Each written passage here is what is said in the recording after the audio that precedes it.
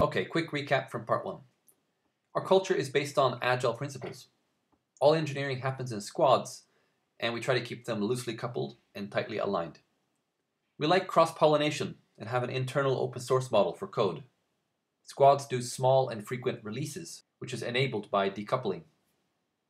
Our self service model minimizes the need for handoffs, and we use release trains and feature toggles to get stuff into production early and often.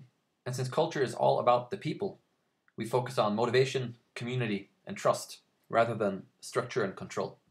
That was part one. And now I'd like to talk about failure. Our founder Daniel put it nicely we aim to make mistakes faster than anyone else.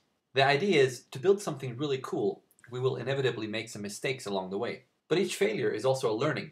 So if we fail fast, we learn fast and therefore improve fast. It's a strategy for long term success.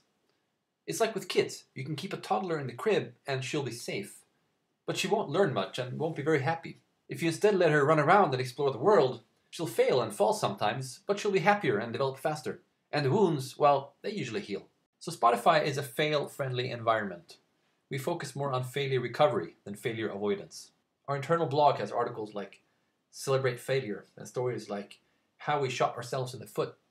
Some squads even have a fail wall where people show off their failures and learnings. Failing without learning is, well, just failing. So when something goes wrong, we follow up with a post-mortem.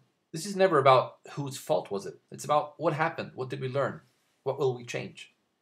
Post mortems are actually part of our incident management workflow. So an incident ticket isn't closed when the problem is solved. It's closed when we've captured the learnings to avoid the same problem in the future. Fix the process, not just the product. In addition, all squads do retrospectives every few weeks to talk about what's working well and what to improve next. All in all, Spotify has a strong culture of continuous improvement, driven from below and supported from above. Failure must be non lethal, or we don't live to fail again. So we promote the concept of limited blast radius. The architecture is quite decoupled, so if a squad makes a mistake, it will usually only impact a small part of the system and not bring everything down. And since the squad has end-to-end responsibility for their stuff, without handoffs, they can usually fix the problem fast.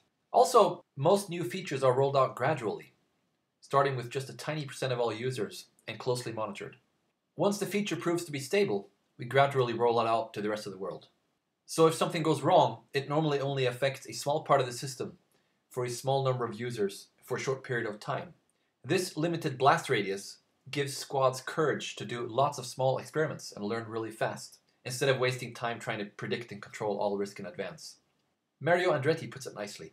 If everything's under control, you're going too slow. Alright, let's talk about product development. Our product development approach is based on lean startup principles and is summarized by the mantra think it, build it, ship it, tweak it. The biggest risk is always building the wrong thing. So before building a new product or major feature, we try to define a narrative, kind of like a press release or elevator pitch, showing off the benefits. For example, radio you can save or follow your favorite artist. We also create prototypes to get a sense of what the feature might feel like and define hypotheses. How will this feature impact user behavior and our core metrics? Will they share more music? Will they log in more often? Whenever possible, we put real prototypes in front of real users. Once we feel confident this thing is worth building, we go ahead and build an MVP, minimum viable product, just enough to fulfill the narrative, but far from feature complete. You might call it the minimum lovable product. Anyway, the real learning happens once we put something into production, so we want to get there as quickly as possible. Again, we deploy the MVP to just a few percent of all users, and use techniques like A-B testing to measure the impact and test our hypotheses. The squad monitors the data and continues tweaking and redeploying until they see the desired impact. Then they gradually roll out to the rest of the world, while taking the time needed to sort out practical stuff like operational issues and scaling. By the time the product or feature is fully rolled out, we already know it's a success, because if it isn't, we don't roll it out. Impact is always more important than velocity, so a feature isn't considered done until it has achieved the desired impact. So with all this experimentation going on, how do we actually plan? How do we know what's going to be released by which date? Well, the short answer is we mostly don't. We care more about innovation than predictability. And 100% predictability means 0% innovation. On a scale, we'd probably be somewhere around here. Of course, sometimes we do need to make delivery commitments, like for partner integrations or marketing events. And that sometimes involves standard agile planning techniques like velocity and burnup charts. But if we have to promise a date, we generally defer that commitment until the feature is already proven and close to ready.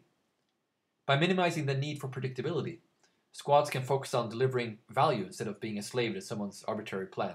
One product owner said, I think of my squad as a group of volunteers that are here to work on something they are super passionate about.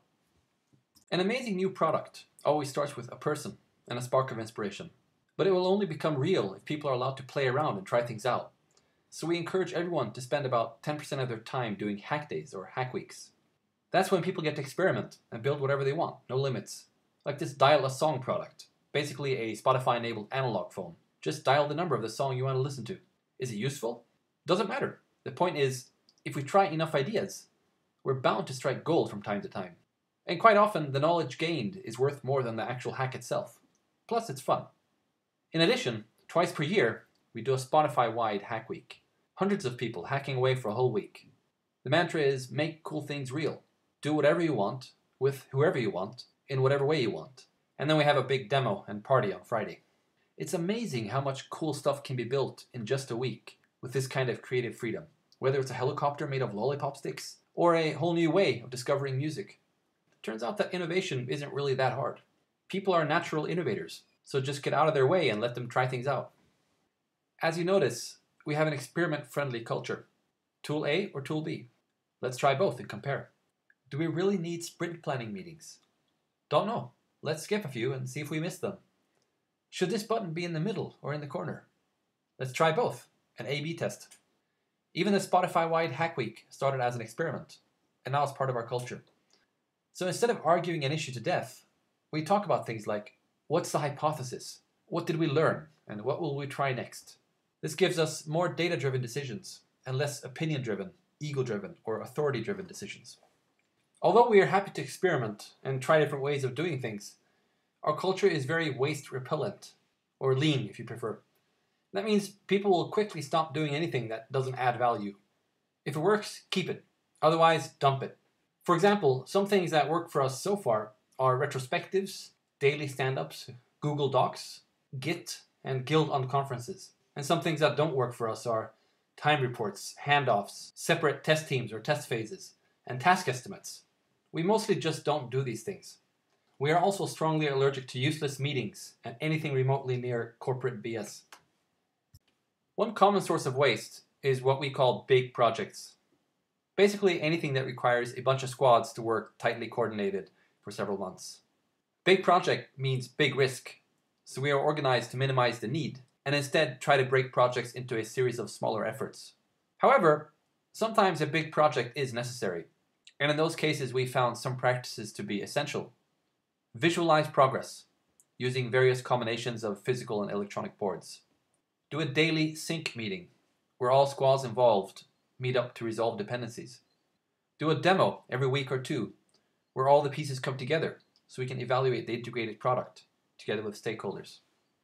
These practices reduce risk and waste because of the improved collaboration and short feedback loop. We've found that a project also needs a small, tight leadership group to keep an eye on the big picture. Typically, a tech lead, product lead, and sometimes a design lead.